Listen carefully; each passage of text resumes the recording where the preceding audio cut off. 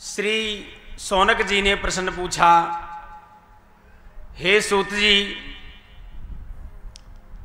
आप प्राणी मात्र कल्याण के लिए कोई ऐसा पवित्र ग्रंथ सुनाए जिससे मनवाणी पावन हो सके? तो सोनक जी ने छह प्रश्न किए हैं सूत जी से। कि किम श्रेय? प्राणी मात्र को क्या करना चाहिए? प्राणी का कल्याण कैसे हो? किम श्रेय श्रेय शास्त्रम क्या सार है? हमारे शास्त्र कितने हैं? और शास्त्रों का क्या प्रयोजन है? दूसरा प्रश्न किया है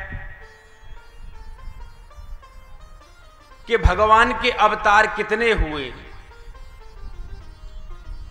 और भगवान ने जब अवतार लिया तो भगवान ने कौन कौन सी लीला इस धराधाम पर करी?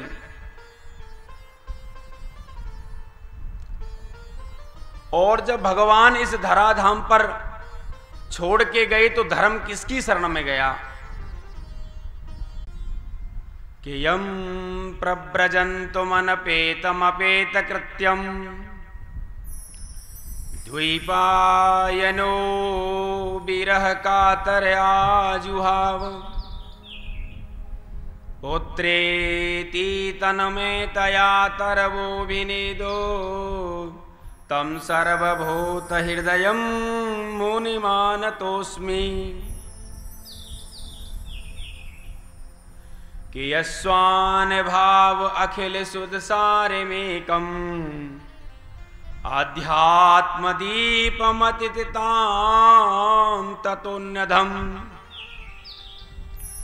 संसारिणा करुणा, आय पुराण गुह्यम। तम व्यास सुनूनुपयामि गुरु मुनीनाम् कि नारायणं नमस्कृत्य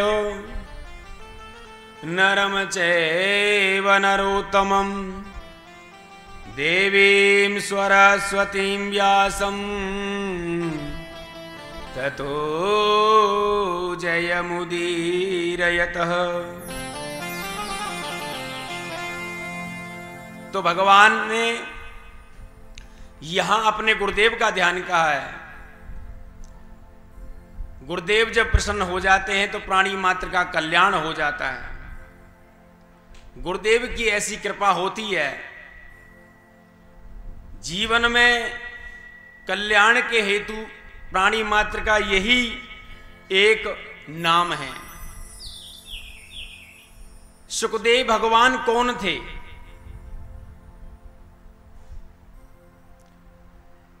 राधा कृष्ण के लाडले सुख जब इस धराधाम पर भगवान कृष्ण और राधा लीला करने के लिए आए तो तोता छटपटाने लगा, हे प्रभु, मुझे भी इस धराधाम पर ले चलिए। तो राधा जी ने कहा है, हे सुख, तू वहाँ पर क्या करेगा? कि मैं वहाँ कथा सुनूँगा आपका दर्शन करूँगा।